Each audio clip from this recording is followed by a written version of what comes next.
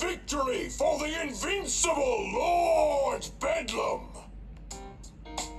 Excellent work, my brothers and sisters. At long last, the first phase of my master plan is complete. Now, gather the spoils of our conquest, so that we may return to our fortress post haste. So you want all these pet supplies stacked in the truck? Yes, stack the pet supplies in the trunk.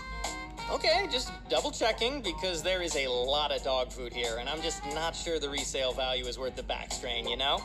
Oh, and do you care about organization? Like, should we sort it by animal or. Just load the boxes! If you please, Comrade. Right. Sure.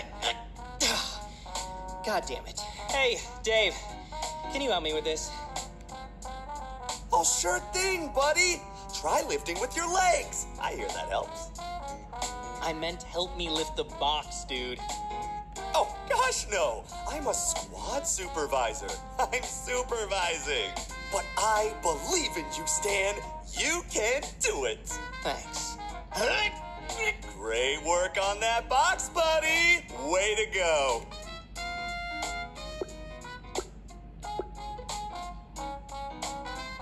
Now, this had better be worth the effort. What are we even ripping this place off for anyway? Did they not honor one of Lord Bedlam's old coupons or something? We'd better not be eating this dog food. Baloney I can endure, but I'm not eating kibble for it. Hey, fellas. Doing some late night shopping for Fido, huh? That's cute. What kind of mud is it?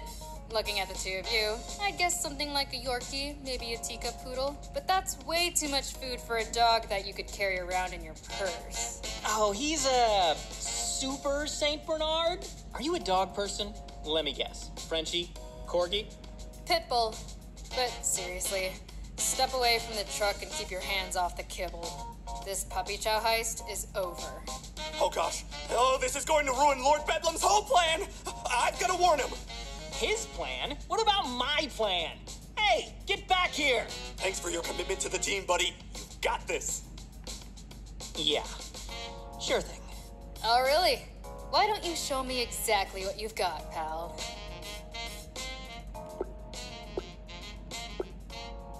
Whew, he's gone. We can talk now. Thank God you're here. My name's Magnum McLean, undercover superhero. I've been tracking these guys for months. Huge case, very sensitive. But wouldn't you know it, my cell phone died before I could call my team for backup. Some luck, huh? So listen, you stop them, and I'll go find a payphone so I can call this in, alright? Great. Go get him, champ. Uh uh. First of all, Magnum McLean? Really? What, your parents didn't alliterate? I thought everyone alliterated. Second, you're gonna find a phone? What is this, 1998? Come on. Okay, good point.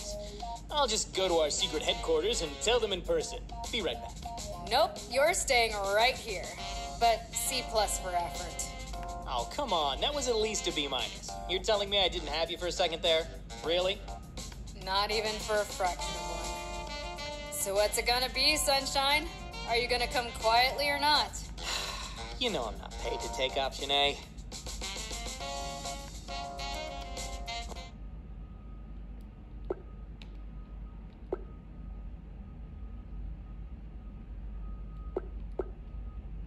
Take this!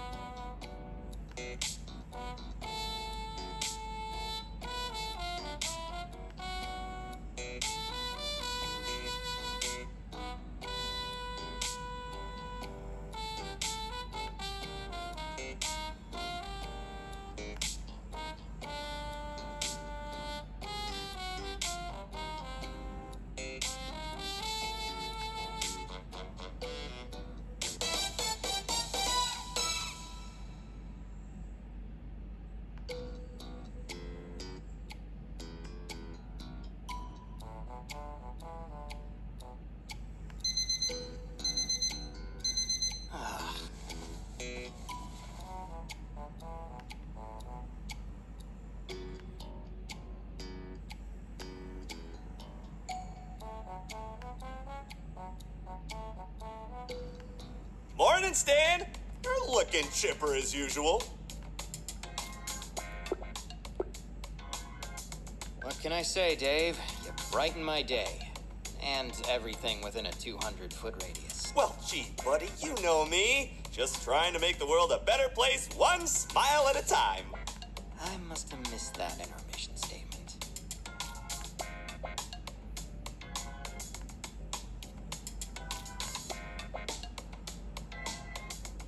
So, pop quiz for you, buddy.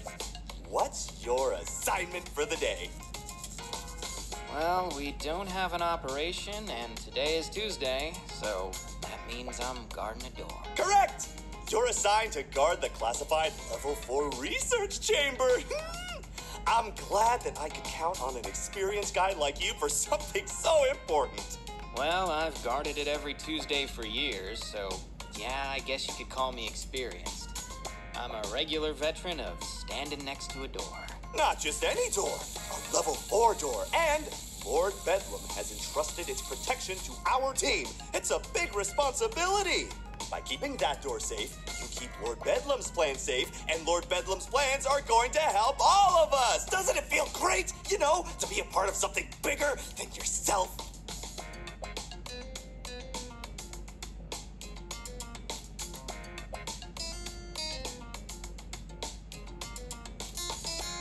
Yeah, it's fantastic. Well, Looking forward to it, buddy.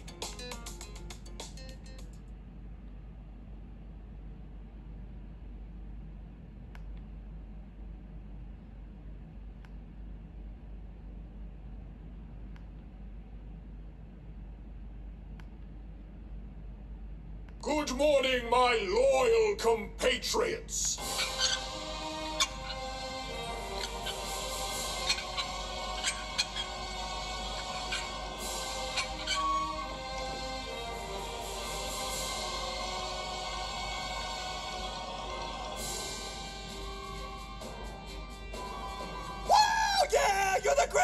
Yeah! You're